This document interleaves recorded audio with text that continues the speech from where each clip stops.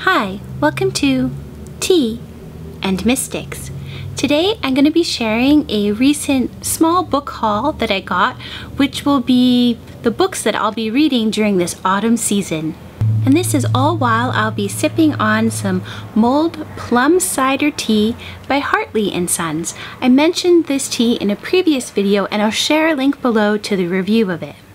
The first two books are ones that I've been looking forward to getting for a while and they sort of lean more towards an academic study of magic and witchcraft sort of falling under that broad umbrella. The first is Grimoires, A History of Magic Books by Owen Davies, and he was a professor a professor of social history and this really looks at the history of the grimoire and for those who don't know it's a book that someone would keep where they'd write down the magic that they knew the magic they experimented with and their magic spells really looking forward to getting into this book during this October season.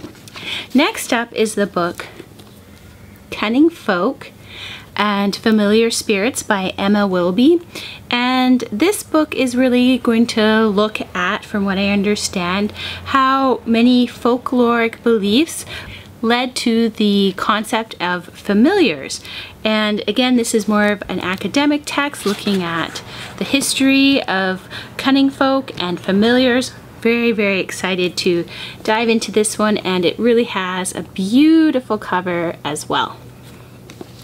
And then lastly, I picked up Finding the Mother Tree that's by Suzanne Simard and it's all about what we can learn from forests, what we can learn from the way that forests develop and thrive and interact, how the trees interact with one another and what we in human societies can really learn from the trees. I think this is perfect time to read this book is in the autumn while we celebrate the colors that the trees are presenting at this time. So those are some of the books I'm planning to read during October.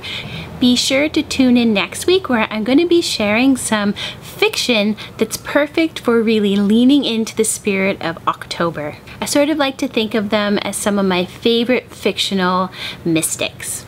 Let me know in, down below in the comments if you've read any of these books or are planning to read any of them or just what you're reading during this coming month of October. Thanks so much for spending time with Tea and Mystics. Cheers!